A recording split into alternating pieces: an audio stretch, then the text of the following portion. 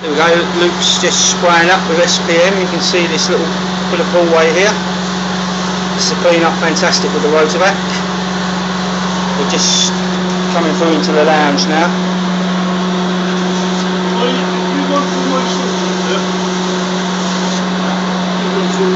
And you can see we've been we've cleaned most of the lounge already. There's a lot of furniture, so we just wanted to show you the difference in the bit it's.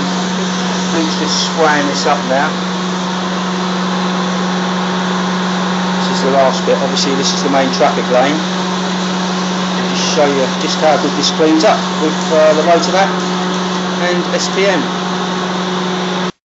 I'm running again. I'll just show you this bit that Luke had just sprayed up with SPM. Look at that, it's absolutely amazing.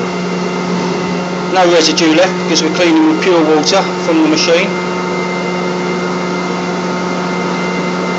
This is cleaning at its very best. You never find a dissatisfied customer, not when you use this uh, piece of equipment, the Rotovac. And the other good thing is as well, it's much less fatiguing than working with a wand. Look at that, it's just amazing. Really, you could get away with just one pass, but we always do a couple. Luke's done three there. Let's just come down to this bit here.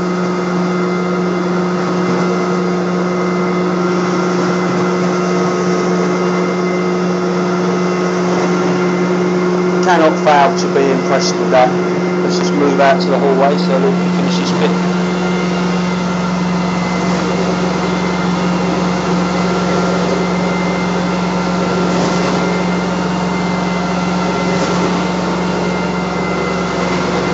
The only thing with this system now, it uses a lot more water.